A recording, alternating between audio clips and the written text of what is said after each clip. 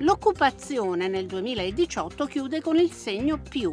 A confermarlo sono le stime Istat diffuse a fine gennaio.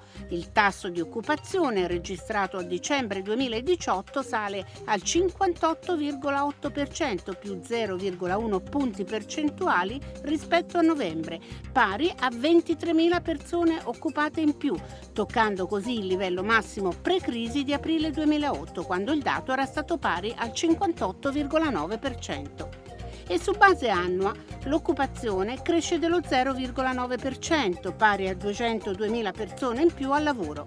L'espansione interessa sia uomini sia donne, lavoratori a termine e indipendenti, mentre continua il calo dei dipendenti permanenti.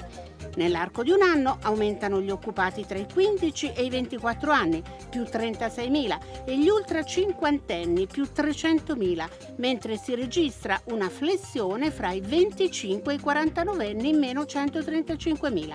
Al netto della componente demografica comunque si stima un segno positivo per la variazione occupazionale di tutte le classi di età.